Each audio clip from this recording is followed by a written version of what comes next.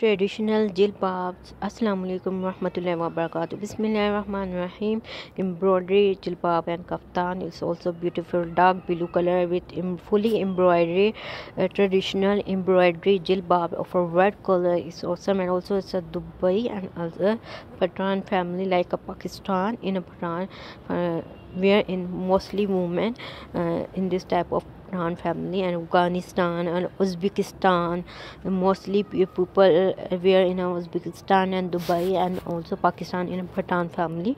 I hope I like and share my videos to get subscribe my channel Muslim fashion style this abaya and kaftan and jilbab is also traditional embroidery jilbab.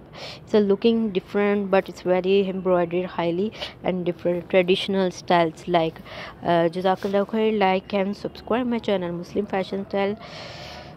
Thank you. Watch um,